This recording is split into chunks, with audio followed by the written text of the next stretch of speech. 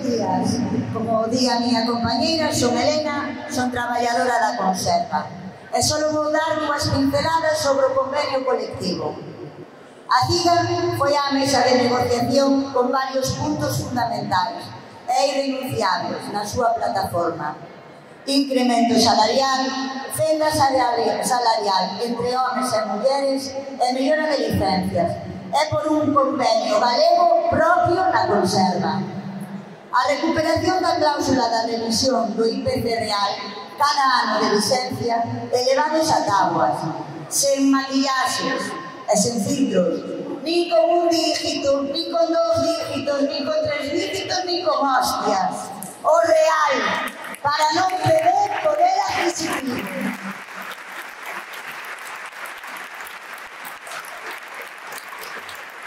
Alcanzamos que o incremento salarial actual 12 con 8,1% para as mulleres e dun 7,8% para os homens, conseguindo o que todo o mundo non creía posible, que no 2021 se chegase ao 6,5%, con atrasos desde xaneiro elevados a tábuas. Agora mesmo xa temos garantizado un incremento salarial dun 11,7%, No noso convenio somos conscientes que existe esa fenda salarial. E non só no noso. Na maioría hai fenda salarial. Por certo, a CIGA somos o único sindicato que levamos na plataforma precisamente que na licencia do convenio había que rematar coa fenda salarial. E conseguimos un 0,3% de incremento salarial a maiores cada ano para o grupo feminizado e a creación dunha comisión técnica para que na vixencia deste convenio quede equiparado o grupo 5 e o grupo 6.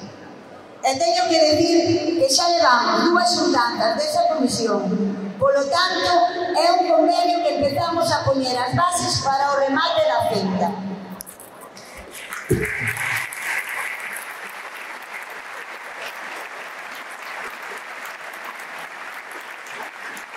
Todo o éxito que vos estou comentar é sen tocar a xornada anual, como pretendía a patronal de incrementalas en 48 horas. Pois non, compañeiras, seguimos mantendo a xornada de 1.730 horas que xa son bastantes. Mellorar licencias, conseguindo ampliar as horas de médico para cuidados e ampliar os permisos, aparellas de feitos. Estivemos negociando con serenidade, coherencia e espírito de loita sempre e reclamando, como sempre, un, un convenio galego propio. Efectivamente, isto consegueuse ca loita de todo o sector, todas as compañeiras e compañeiros na rúa con movilizacións e tres días de folga. Pelexando contra a patronal, e mesmo ca manipulación, distorsión e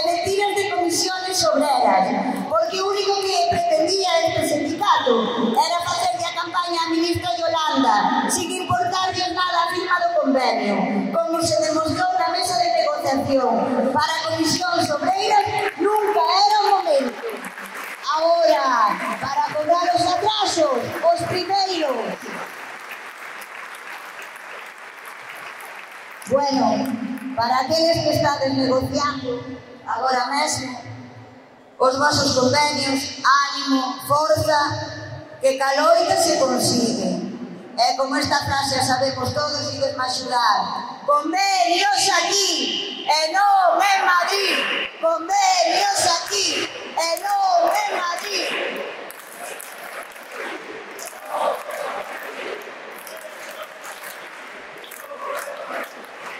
como saberes del